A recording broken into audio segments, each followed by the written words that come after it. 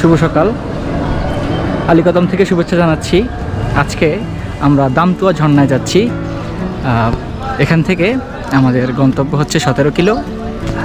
এরপর ওখান থেকে আমরা দামতুয়া ঝর্ণার উদ্দেশ্যে ট্রেকিং শুরু করব। আলীকদম থেকে প্রয়োজনীয় এন্ট্রির কাজ শেষ করে আমরা চান্দের গাড়ি করে সতেরো কিলোর উদ্দেশ্যে যাত্রা শুরু করি।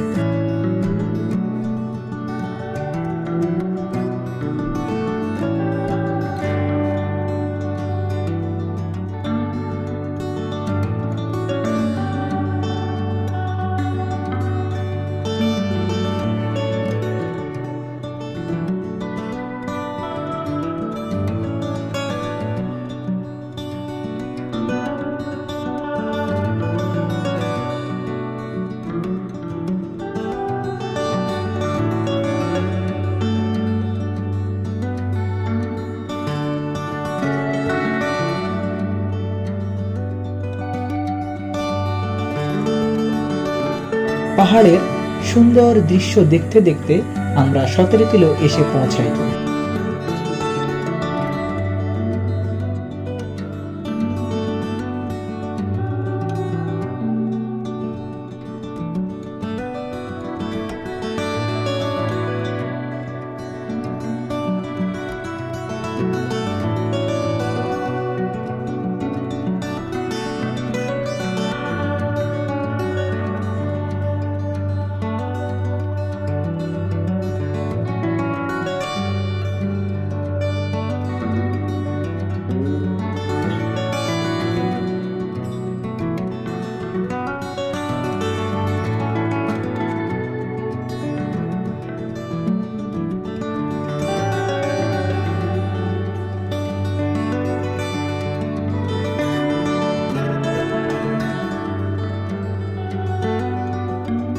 এখানে আমরা একজন গাইড নিয়ে নিই এবং প্রয়োজনীয় এন্ট্রির কাজ শেষ করি।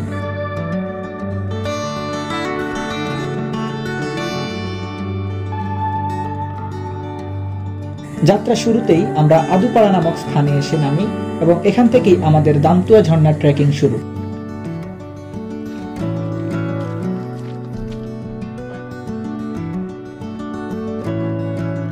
এই ঝর্ণাটির আরেকটি নাম হচ্ছে তুক অ ঝর্ণা। তুক মানে হচ্ছে ব্যাং আর অ মানে হচ্ছে ঝিরি। আর দামতুয়া শব্দের অর্থ হচ্ছে খাড়া দেয়াল যেখানে ব্যাং লাফিয়ে উঠতে পারে না।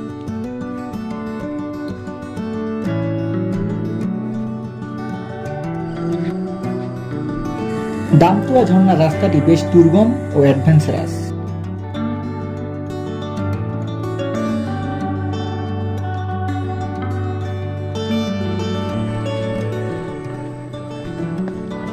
দামতুয়া ঝর্ণায় আসতে যেতে পাহাড়ি রাস্তায় ট্রেকিং করতে হবে প্রায় তেরো কিলোমিটার পথ।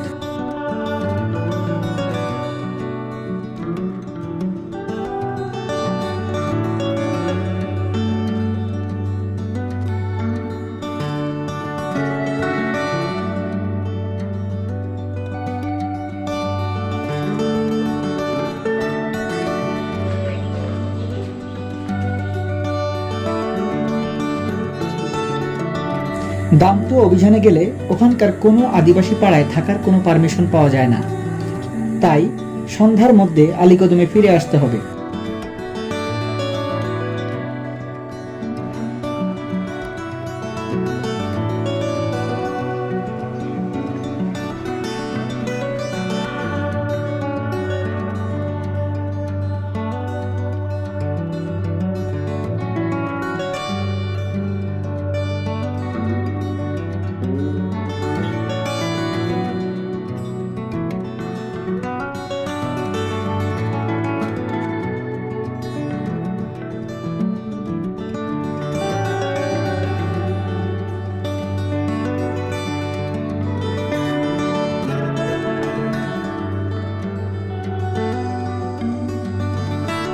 আমরা প্রায় দেড় ঘণ্টা হেঁটে ফেলছি। দেড় ঘণ্টা পাহাড় ট্র্যাক করার পরে উঁচু নিচু প্রায় আট থেকে নয়টি পাহাড় পাড়ে দিয়েছি। এবারে একটু সমতল ভূমির দেখা পেয়েছি সামনে। এবং এখানে খুবই সুন্দর একটি পাড়া আছে। আমি আসলে জানি না পাড়াটির নাম কি, তবে পাড়াটি অত্যাধিক সুন্দর লাগতেছে এখান থেকে। এবং দুই পাহাড়ের মাঝখানে একটি সমতল ভূমি, অনেকটা ভ্যালির মতো, উপত্যকার মতো লাগতেছে এই জায়গাটা। একটু দেখানোর চেষ্টা করি আপনাদের।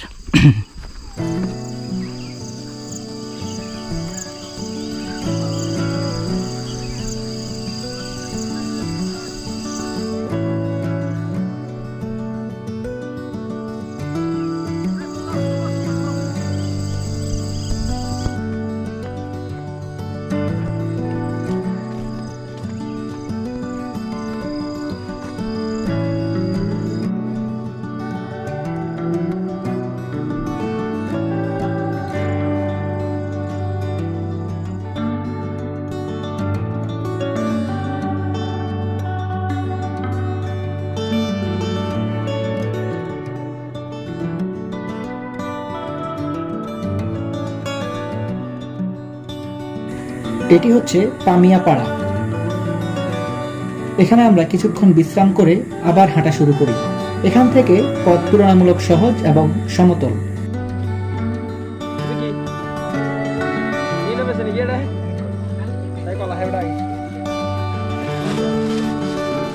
এটি হচ্ছে পওমি পাড়া খুবই সুন্দর একটি পাড়া। আমরা এখন এই পাড়ায় বসে কিছুক্ষণ বিশ্রাম করব, একটু খাওয়া দাওয়া করব। এরপরে আবার আমাদের হাঁটা শুরু হবে। আমাদের টিমমেট সবাই আমরা বসে আছি। কেউ কলা, কেউ পানি, কেউ গ্লুকোজ খাচ্ছি। আবার একটু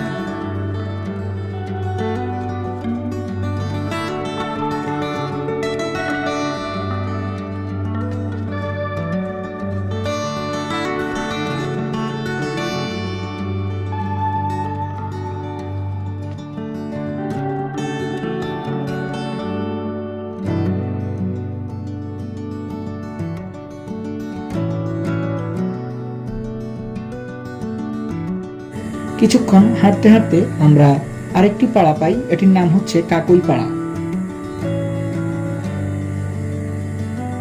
এখান থেকে কয়েকটি পাহাড় পাড়ি দিয়ে সামনে গেলেই আমরা পাই ব্যাংশিরি।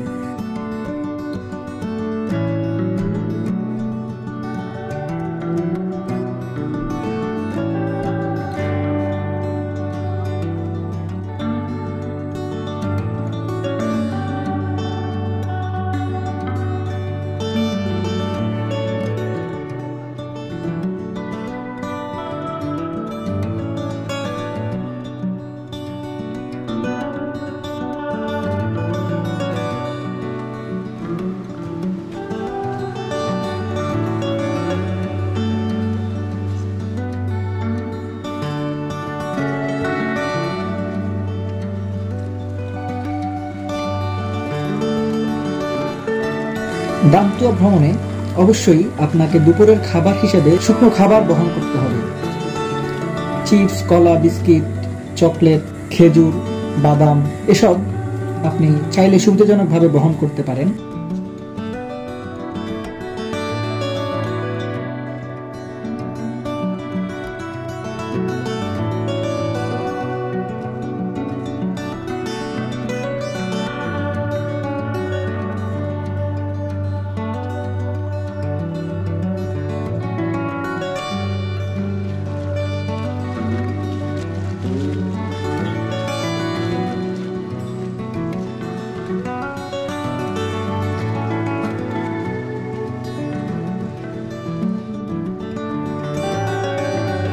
পাহাড়ে ট্রেকিংয়ে গেলে অবশ্যই পরিবেশ পরিষ্কার রাখুন। পাহাড়ে কোনো অপচনশীল দ্রব্যাদি ফেলবেন না। পাহাড়ে কোনো পলিথিন ফেলবেন না। আপনার সাথে আনা পলিথিনগুলো নিজে সঙ্গ করে আবার শহরের দিকে নিয়ে যান এবং ডাস্টবিনে ফেলে দিন।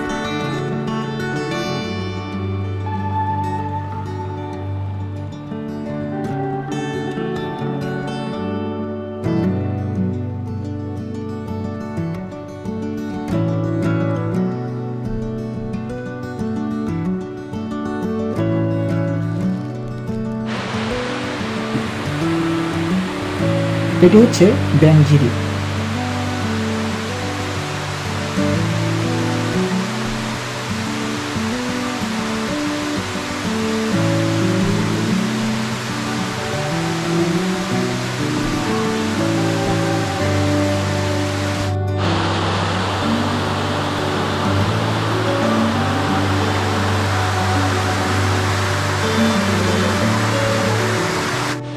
ব্যাংঝিরি পার হয়ে আমরা আরেকটু হেঁটেই দামতুয়ার দেখা পাই।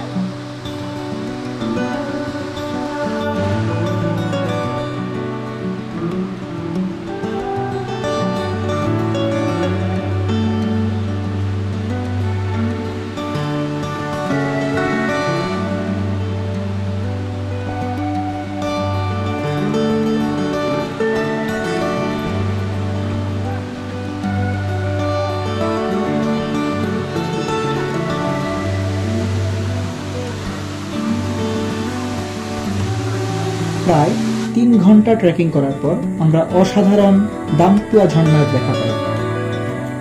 বান্দরবনের গহিনী খুবই সুন্দর একটি ঝর্ণা।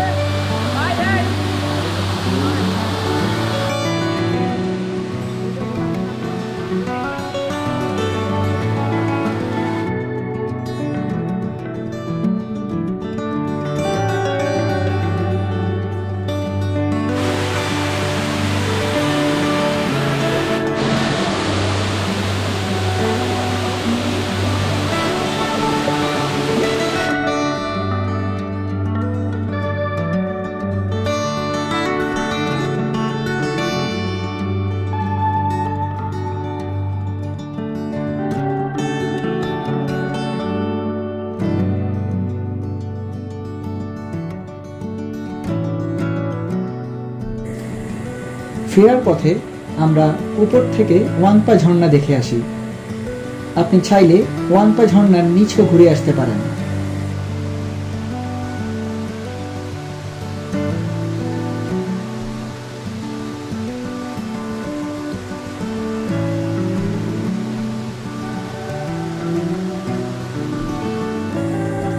ভ্রমণ সম্পর্কিত ভিডিও পেতে অবশ্যই আমার চ্যানেলটি সাবস্ক্রাইব করুন।